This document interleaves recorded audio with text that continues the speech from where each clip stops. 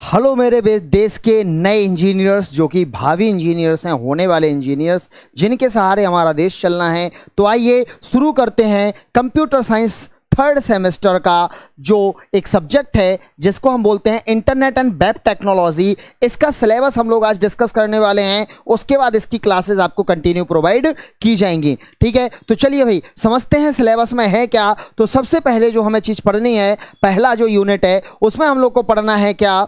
सबसे पहले हम लोग को पढ़ना है सबसे पहले वेब डेवलपमेंट इंट्रोडक्शन, जिसमें हम लोग पढ़ेंगे क्या, इंटरनेट क्या होता है, डब्ल्यू क्या होता है, ब्राउज़र क्या होता है, सर्च इंजन क्या होता है, जैसे कि आपका हो जाएगा गूगल, क्रोम वगैरह, ठीक है? इसके बाद क्लाइंट सर्वर मॉडल, यूआरएल क्या होता है, ठीक है? इसके बाद वेबसाइट क्या होते है, वेबसाइट कितने प्रकार की होती है, स्टैटिक और डायनामिक और रिस्पॉन्सिव वेबसाइट होती है। उसके बाद आईटी लॉ क्या है, साइबर क्राइम जो होता है, उसके लिए साइबर सिक्योरिटी का क्या क्या साइबर सिक्योरिटी क्यों आवश्यक है? ठीक है? तो ये आपका हो गया पहला चैप्टर यहाँ से हम लोग को कम से कम दो क्वेश्चन देखने को मिल सकते हैं। एक आपका यहाँ से शॉर्ट नोट आ सकता है दो नंबर में और एक पाँच नंबर का क्वेश्चन आ सकता है आईटी लॉ ठीक है? ये सारी चीज़ें अपन लोग आगे की क्लास में डिस्कस करेंगे। तो हमको पहले चैप्टर में ये सब कुछ पढ़ना है। अगला जो हमारा चैप्टर है, वो है एचटीएमएल मोस्ट इंपॉर्टेंट चैप्टर है। ठीक है? मोस्ट चैप्टर है। इस पूरी बुक का सबसे ज़्यादा आने वाला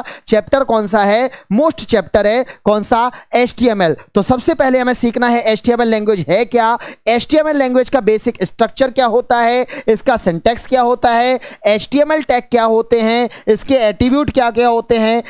HTML टैग के एट्रीब्यूट क्या हैं? Basic tag body tag head tag title tag इसका क्या आवश्यक होता है? इनका क्या काम होता है? उसके बाद हमें सीखना है पेज फॉर्मेटिंग मतलब HTML प्रोग्राम को बनाना, जिसमें हम सीखेंगे एक नया प्रोग्राम कैसे, एक नया पैराग्राफ कैसे शुरू किया जाता है HTML पेज पेज में लाइन ब्रेक एलिमेंट हम कैसे ऐड करते हैं, उसका क्या एट्रीब्यूट होता है इंसर्टिंग अ ब्लैंक स्पेस दो नंबर के बीच में स्पेस डालना है तो हम कैसे डालेंगे, इसके बाद बैकग्राउंड को अगर हमें चेंज करना है, अपनी पिक्चर के, अपनी वेबसाइट के बैकग्राउंड में अगर हमें चेंज करना है तो हम कैसे कर सकते हैं? एचटीएमएल लैंग्वेज एक ऐसी लैंग्वेज होती है, जिसका उपयोग वेबसाइट वगैरह बनाने में किया जाता है। एचटीएमएल का फुल फॉर्म होता है हाइपर टेक्स्ट मार्कअप लैंग्वेज ठीक है? तो उसी से सारी चीज़ें हम लोगों को इसमें सीखनी है कि टेक्स्ट फॉर्मेटिंग में हमें सीखना है हेडिंग क्या होती है, कितने टाइप की होती हैं टेक्स्ट को बोल्ड कैसे किया जाता है टेक्स्ट को इटैलिक कैसे किया जाता है टेक्स्ट में स्मॉल टैग क्या होता है मार्क टेक्स्ट क्या होता है टेक्स्ट को डिलीट कैसे किया जाता है?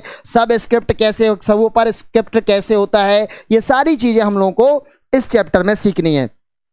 इसके बाद हम अपने प्रोग्राम में, हम अपने वेबसाइट पे इमेज कैसे डालते हैं?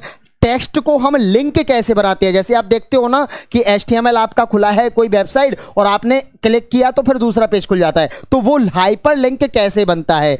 इमेज को एज अ लिंक कैसे बना सकते हैं? ठीक है, इसके बाद हम इसमें सीखना है हमें क्या टेबल कैसे बनाई जाती है और फॉर्म कैसे बनाया जाता है और एच में फ्रेम क्या होते हैं और इनको कैसे बनाया जाता है। तो इतनी सारी चीज़ें हम लोगों को यहाँ से सीखनी है। यहाँ से आपके पाँच नंबर के कम से कम तीन क्वेश्चन देखने को मिल सकते हैं, ठीक है? तो ये चैप्टर आपका सबसे ज़्यादा इंपॉर्टेंट है। जब आप पढ़ोगे तो उसमें हम आपको मोस्ट क्वेश्चन बताते जाएँगे कि ये क्वेश्चन प्रिपेयर कर लो, ये क्वेश्चन एग्ज़ाम में आ सकता है।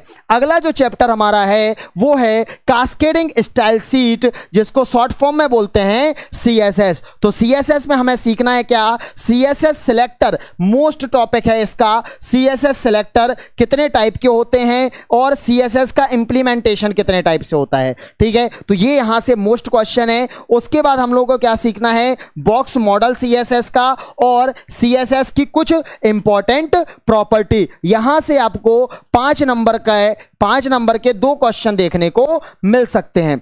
ठीक है? इसके बाद जो हमारा अगला चैप्टर है, वो है जावा स्क्रिप्ट ठीक है? जावा स्क्रिप्ट का यूज़ भी हमारा किसमें होता है? वेबसाइट बनाने में होता है। इसमें हम लोग को सीखना है क्या?